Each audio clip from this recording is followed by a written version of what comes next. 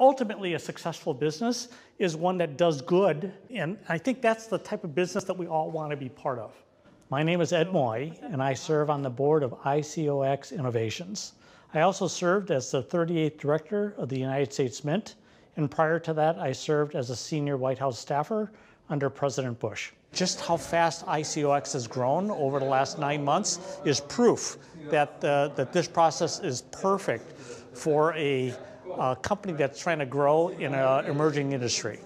So there are several reasons why I decided to join the board of ICOX. The first one is uh, it is a company that's really committed to being uh, regulatory compliant.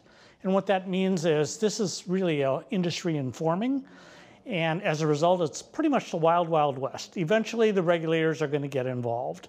In the absence of centralized regulation, uh, the free market ought to self-regulate. And this is one type of company that is firmly committed to trying to do the right thing. They've done it from two different perspectives. One is uh, they're doing a proper public offering.